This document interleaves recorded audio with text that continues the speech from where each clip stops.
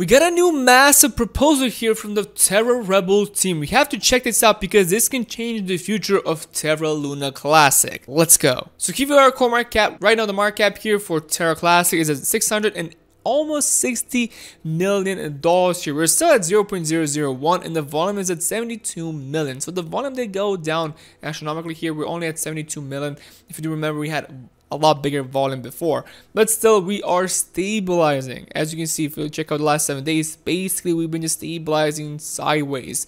Not too many big moves and we're still above that one number here. We didn't go below that zero. So we have this video where the Terra Rebel team is talking about basically the new proposals so saying here Luna Classic as Terra Rebels a huge update. New proposal explain TFL has 10 days to respond. So this is explained. Check out the video guys for yourself. Do watch it and really understand what's happening here. But this here is a proposal. So proposal for distribution of code for proposal 3568 for the 1.2 transaction burn and for 4095 re-enabling delegation and staking. So summary here.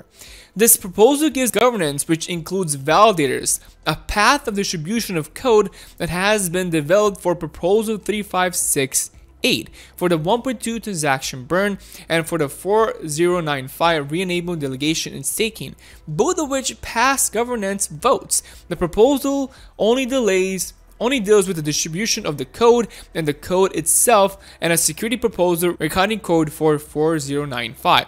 So, Disclaimer here. While I have contributed to aspects of the Terra Rebel community, this proposal is being submitted personally as a fellow member of the Terra, Terra version 1 governance community. So this is the proposal description. So in accordance with the Terra governance, the proposal is being created to distribute code for proposal 3568.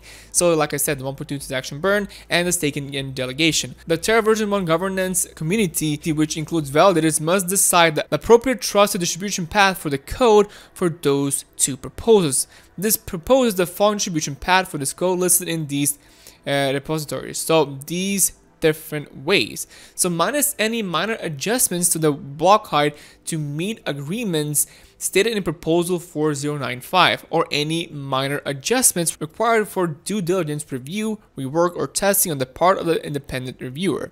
The code being proposed minus any minor adjustments can be seen below. These are the codes so you can check for yourself. Basically, it says it is proposed that TFL either develop a novel solution or support a proposed implementation of the proposal 3568 4095. If TFL does not provide any communication and does not merge, build, and distribute the code in support of 3568 and 4095 in 10 day, business days from the time this proposal may cross governance, else it is proposed that uh, code 0 version 0521 will be distributed to validators from the following repository, this one over here, and the build instructions will be provided in this document source for validators, including support contact information as seen here. The following outlined steps were done to ensure due diligence for code review, security, and testing. You can check it out if you do want so. Security here, you can check it out for yourself. Like I said, it is proposed that the code added for 4095, which uh, although meets the essence of 040 4095 and provides for preventive security be approved, that no validator should achieve more than 25% of the voting power for the first 60 days. If this proposal should pass, then uh, this person here that mentioned that the block height for the evocation of 3568 and the 4095 is over almost 9 million here, approximately August 12, 2022. The block height is subject to change if required by a validator's adoption for independent review. And people are super excited about this. People are just super excited about what this what's happening here because they're trying to like these guys are trying to distribute the code and they want approval here from the community and of course from uh, TFL actually. So TFL has a thing that need, they need to do so we're gonna see what's gonna happen with that. Like I said, you have the video here. You can check the full video where they where they do explain everything about it. So that's super duper interesting. So it says here another exchange is executing Luna Classic 3568 burn tax. This could be huge. So Wi-Fi exchange will burn. So yeah, this Wi-Fi basically exchange is enabling the burn, which is absolutely amazing. I want to talk about this. So Fatman posts here saying what made what made Luna and UST magical were their real world use cases. So Chai, UST borrowing, adoption in Korea, a director at Temasek, hopefully I'm pronouncing that right. So Singapore 400 billion sovereign wealth fund agreed in October 2021 that the company isn't dumb money. But we know how these how these use cases had been heavily and clearly spoofed. So yeah, this guy here, Thomas, basically saying here, uh, a blockchain ecosystem that is not just LPs and farms, but real world use cases. So yeah, big things. There's big things happening here. Absolutely insane. Like finally, if this proposal passes, we're gonna see the tax updates. We're gonna have the tax burn here implemented on the code. But if Terra uh, TFL actually doesn't do anything, that's going to be a huge problem. Because then everybody here, we're not going to be able to enable the burn as we should. So TFL has to help us somehow fix this thing right now. To actually implement the burn, to actually implement the new code. So if they don't, then it's just not fair. It's just absolutely not fair because how is it decentralized if those guys who made who basically made the coin doesn't even they don't want it to prosper. They don't want it to go up. Like that's absolutely insane to me to think about that that those guys like actually not helping out. Like them not helping out is like the worst thing that can happen.